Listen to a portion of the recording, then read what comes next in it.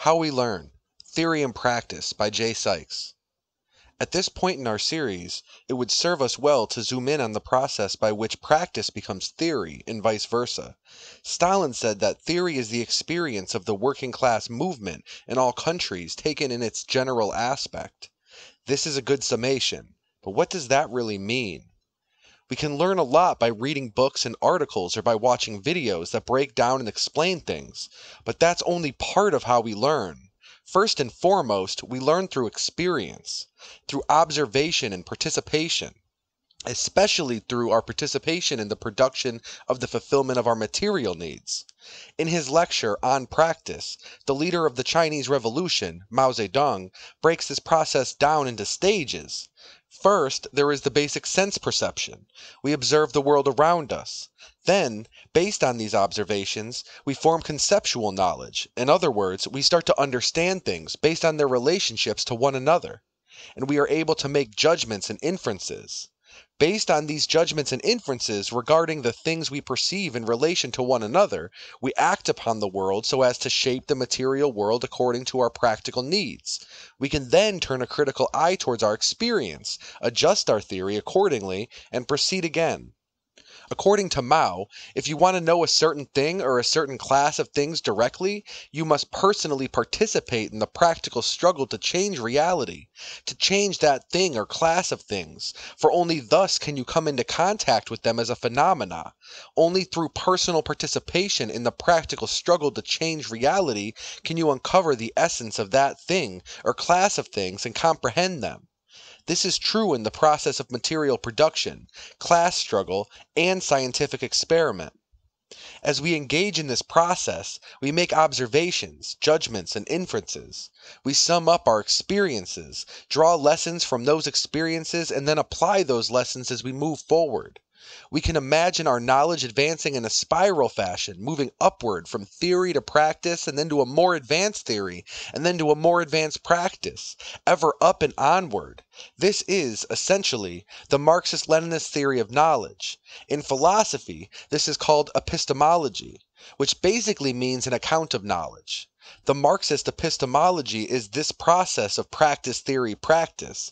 We formulate a theory and test it in practice.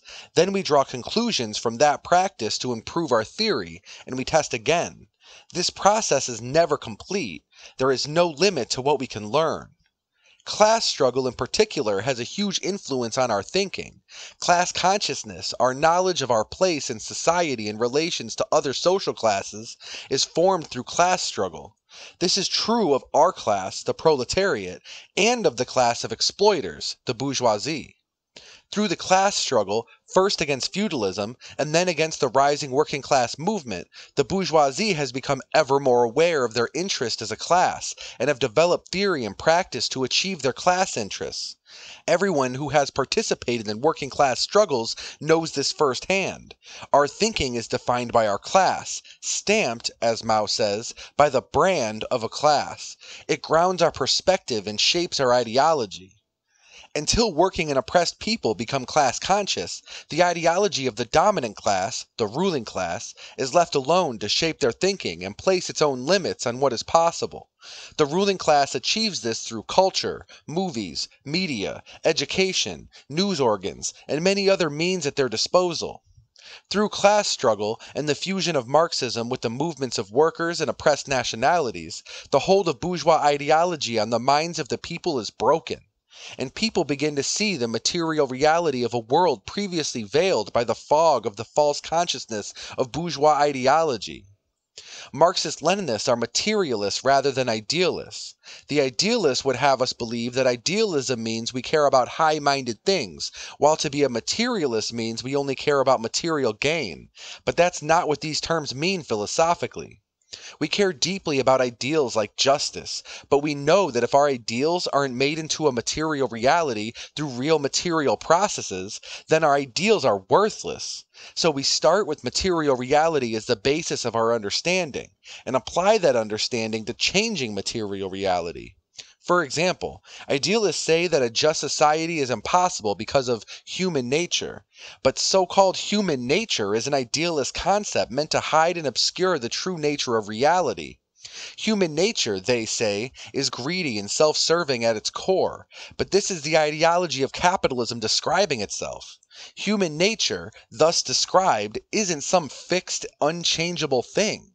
This view of humanity is shaped by the material reality of capitalism, and it can and must be overcome as the society that shapes it is revolutionized. This is what we mean when we say that revolutionary theory is the experience of the working class movement in all countries taken in its general aspect. Marxist Leninists the world over are continually gathering experience through practical struggle, using Marxist Leninist theory to sum up those experiences and drawing lessons from them.